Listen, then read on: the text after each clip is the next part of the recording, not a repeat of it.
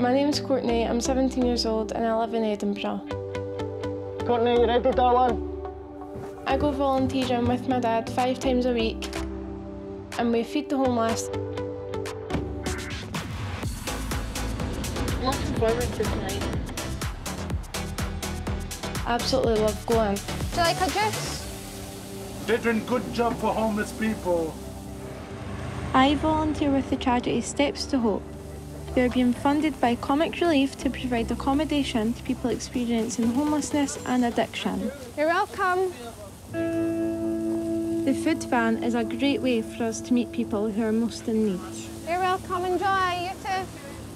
It is estimated that there are hundreds of thousands of people in the UK without a secure place to call home. Here, pal, here. You want a juice?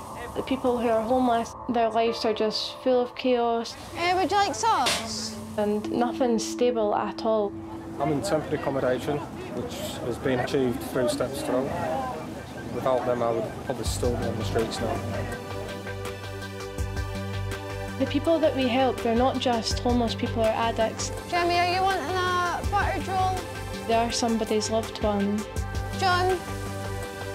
From first-hand experience, I know that it's a very worrying time when a loved one is homeless. This is your buggy. Um, so it's my dad's charity, actually. Is it? Right, OK. We'll see you in the morning, eh? When I was growing up, my dad was a drug addict, so there was a lot of hard and upsetting times. When things got tough at home, my dad couldn't stay with us anymore.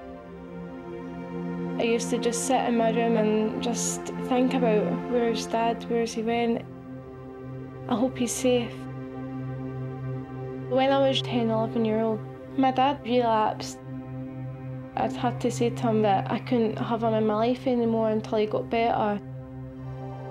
I'd say it was nine, ten months that I wasn't talking to him at all. It was devastating. Then on Christmas Day, he had asked me if I wanted to go with him to hand stuff out to the homeless. I immediately said yes. I felt like my dad was really, really trying to change his life. We handed out 10 Santa sacks of clothes to the homeless. Then the next again year it was 40.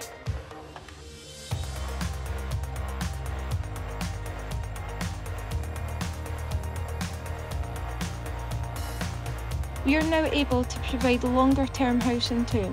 We've been doing a lot of cleaning today. We're just making sure everything's ready to move in tomorrow. This flat is for someone who Steps to Hope has helped through the Substance Recovery Programme. Having a roof over your head does open so many doors. People having relationships again with their family, building better relationships with friends. That looks nice. It's amazing. I am very proud of my dad. Home sweet home. He's been able to turn his life around and has now been able to turn other people's lives around. Get involved with your school this Red Nose Day and you could help people in the UK and around the world in need of a safe, secure place to call home.